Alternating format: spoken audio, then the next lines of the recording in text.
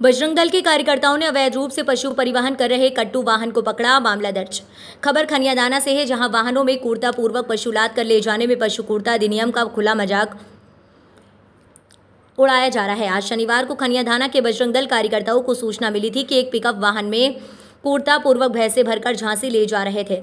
सभी बजरंग दल के कार्यकर्ताओं ने चमरौआ नहर के पास से भैंसों से भरी गाड़ी को पकड़ लिया। जानकारी के अनुसार खनिया थाना थाना के अंतर्गत चमरौआ गाँव के समीप बजरंग दल और विश्व हिंदू परिषद के कार्यकर्ताओं ने पशु परिवहन का वैध रूप से परिवहन करने वाले एक वाहन का पीछा किया और उसे पूछताछ के नाम पर रोका।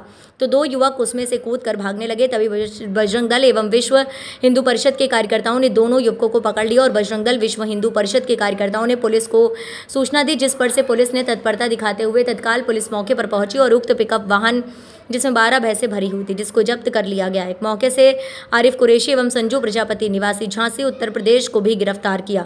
मौके से पिकअप वाहन में बारह भैंसे कूर्तापूर्वक भरी गई थी, जिसमें कार्यवाही करते हुए खनियादाना पुलिस ने पशु कूर्ता अधिनियम के तहत धारा ग्यारह चार एक आठ के तहत मामला दर्ज कर आरोपियों को गिरफ़्तार कर लिया है। संवाददाता शिवकांत सोनी की रिपोर्ट।